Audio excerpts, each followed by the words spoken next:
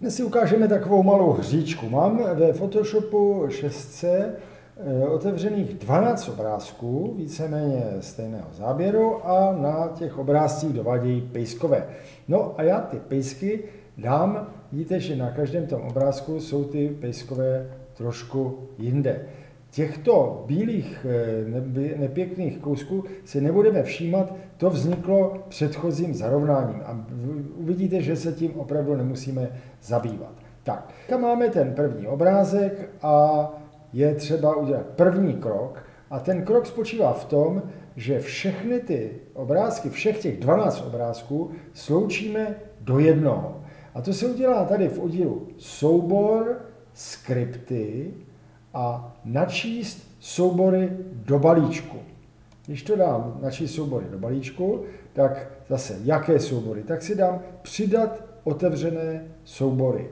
Tady můžu zaškrtnout, pokusit se automaticky zarovnat zdrojové obrazy, ale já je mám zarovnané, takže to nepotřebuji. Takže teď už dám jenom OK a budu pozorovat, co se bude dít. Vidíte, že na tom obraze to skáče, to, jak se tam nasouvají ty nové a nové obrázky a také v oblasti vrstev my tady postupně do 12 vrstev se načetlo těch 12 dílčích obrazů, čili mám jeden obrázek a v něm je 12 vrstev. Tak a teďka je důležité, co s tím budu dělat dál.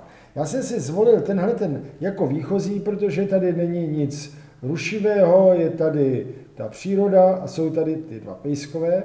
A teď si budu využívat té možnosti, že se vrstvy dají přesouvat. Čili já si tu spodní nasunu na tu horní a teď pozor, není to vidět na té mé animaci, zmáčknu klávesu Alt a zmáčknu, ťuknu si na ikonku maska. Ta maska je černá, to znamená zakrývá ten obrázek. A když teď zvolím štětec, stačí klávesa B jako brush, no tak si tady nastavím vhodnou velikost, budu volit zhruba podle velikosti těch pejsků, režim je vždycky normální, dám si krytí 100%, hustota 100% a bílou barvu popředí. Ano, je to bílá barva popředí. No a teďka vím, že tady je někde nějaký pejsek, tak už si ho tady pěkně vytáhnu.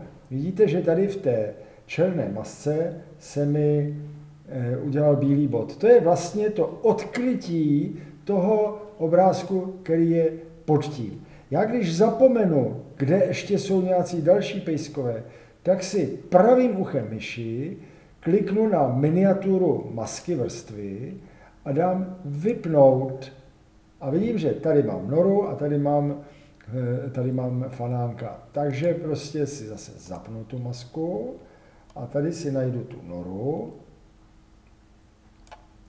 a tady si najdu fanánka. Tak vidíte, že už se mi duplikovaly ty pejskové. No a teďka co dál? Já si tyto dvě vrstvy sloučím klávesovou zkratkou Ctrl E. No a postupuju dál. Zase nasunu si tu další vrstvu nahoru a dám si zase Alt a ikonka vrstvy.